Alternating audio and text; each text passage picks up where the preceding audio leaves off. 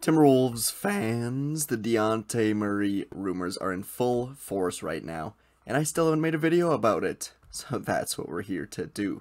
Dejounte Murray, is he real? Yes. Are the rumors to the Wolves real? Yes. Is a trade to the Timberwolves going to happen? I don't know. That's what we're here to discuss. All that and more right now.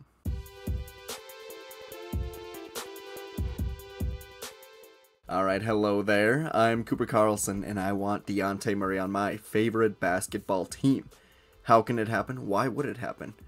Let's talk about it all, huh? Anyways, with interest reported from, you know, the Spurs trading Murray to the Wolves from insiders such as Zach Lowe, these rumors, they seem to be real. They seem to not just be, you know, name your random Twitter account that just throws out rumors all the time. Zach Lowe is legit. He has his sources. He knows his stuff. These have been out there since draft day, maybe a little before. But the Wolves, the Hawks seem to be two of the main two teams linked to Dejounte Murray. Two of the teams that I think have the capital to go get him. And yeah, I think this is legit. I'm excited. I would love it. Murray would be an amazing get for this Timberwolves team and the exact type of point guard upgrade I've been talking about since the season pretty much ended. As you all know, if you listen to this channel at all, I like D'Angelo Russell, but I think the Timberwolves need to move on, need an upgrade at the point guard position if they hope to go where, you know, every team wants to go. Conference championship, championship, NBA finals, all that.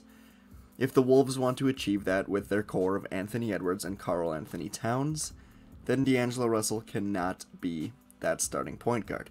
Dejounte Murray, though, yes, I believe he is one of the players that can be an upgrade over D'Angelo Russell and help push the Wolves over being a first round exit, being a play in team, you know, being what they were last year.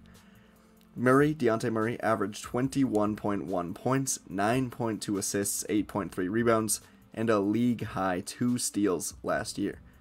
All four of those stats were career highs for Murray, and he also shot a career best 46.2% from the field, 35 minutes per game, played a ton, produced a ton on a bad team.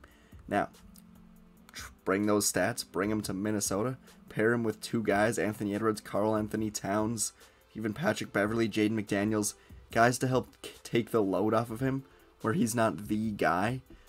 Murray still has a lot of upside to unlock, and again, he just last year really broke out. 25 years old.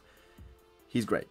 He's a fit. I think it would work perfectly. And when rumors began to swirl that the Spurs were open to trading Murray, it raised, you know, a lot of eyebrows, a lot of questions. Why? Why would this be? He just came off his first All-Star appearance. He's only 25 years old again. And he's on the Spurs, which is a rebuilding team. Wouldn't they want to hang on to this young, really solid asset? Probably, right? But at the same time, selling high after a player has, you know, their best season yet makes sense for a rebuilding team. I can see the other side of the coin where why they'd want to trade him, you know. They can get an absolute haul. The Spurs, again, rebuilding, stuck in this purgatory, mediocre area where they just don't seem to have anything building right now. Murray is certainly a building block, but he's not you know, Karl-Anthony Ta- Anthony Edwards of type of building block.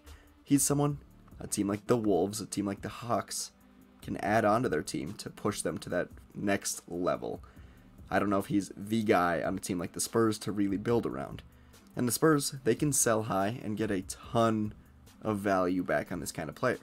It kind of makes sense if the right deal comes along. Teams that could give them the right deal, you know. The Wolves, one of them. What could that look like is what we'll talk about here in a bit, but why the Wolves? Again, I've mentioned I like the fit quite a bit, but I think he really fits well, really well, next to Anthony Edwards. Karl-Anthony Towns as well, but I'm looking at Anthony Edwards here. He's the future. KAT will be here as well, but Ants, Murray, that's a duo that I absolutely love. Of course, Towns will be here, but man, that trio, incredible.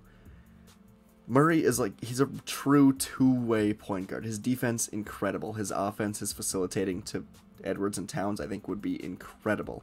I think it would go really well. And there's not a ton of negative stuff I've said around him about him here.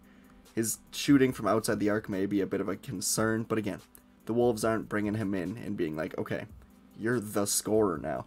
No, he's here to play rock solid defense, get the ball to the real scorers, and you know, he can still get his own very easily. Again, he scored 21 points per game last year as the main guy, pretty much. So, very excited. Two way point guard. Defense is really unbelievable. He's.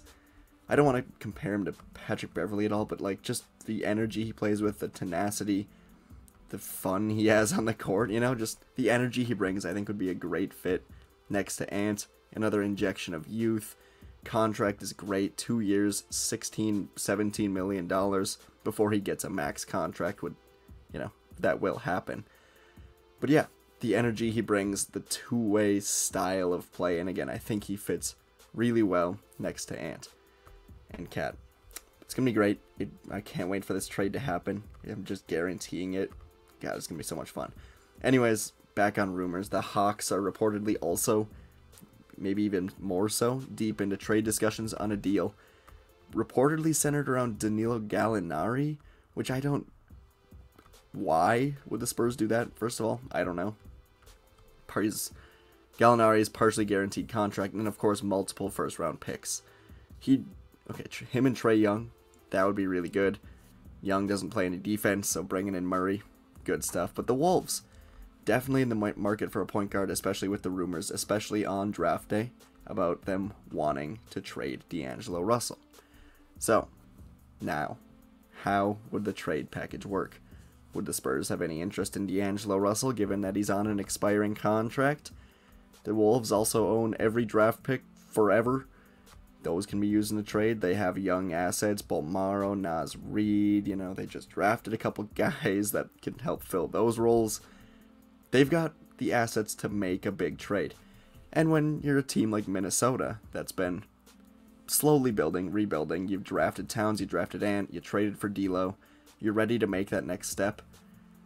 Players like Dejounte Murray are the type of players you go make a huge splash trade for. You throw in the assets, you throw in what it takes, if Tim Connolly truly believes that Murray is the type of guy to take the next step. If Connolly is interested in, I don't know if it's speeding up the rebuild, but if you wait till next offseason, the Wolves will have a ton of cap space. So that's one option. Or they can put together a huge package speed that up, go get Murray, and just get it going now. I think it'd be great. Both teams, Hawks and Wolves, make sense as suitors for Murray. They could both use some help defensively. Again, Murray, elite defender, great length. He can defend a ton of positions, very disruptive overall. And offensively, he's good at what he does. And again, he'd have a huge, a lot taken off of him, off his shoulders. He would just have to find a way to get the ball to KAT and Ant for the most part and then get his when he can. I don't know if he's scoring 20 points a game because the Wolves won't need him to. So excited for this to happen. But let's say, okay, let's just say it does. It, it is happening. What does a trade package actually look like? Well, I'm kind of going all in here. In my opinion, it probably has to involve D'Angelo Russell and a plethora of young assets. I know we read that thing about the Hawks centering a deal around Danilo Gallinari. I don't buy it. Sure, Gallinari and 18 first round picks, right? But I mean, say you're the Wolves. What does a trade look like? What's the most you're willing to do? Well, do I have the answer for you? At least from my side. Here is the most I would do for Dejounte Murray.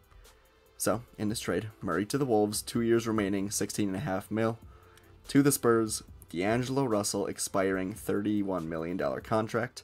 Naz Reid, team option, then free agency and in Bolmaro, rookie contract, former first round pick. Super cheap if he develops, great piece. Along with those players, first round pick in 23, first round pick in 25, first round pick in 27. Now, this might be an overpay compared to what the Hawks are offering. I don't know. But I would be this I would do this. Naz Reid, his role replaced by Walker Kessler.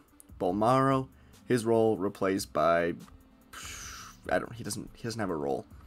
D'Angelo Russell, his role replaced by Dejounte Murray.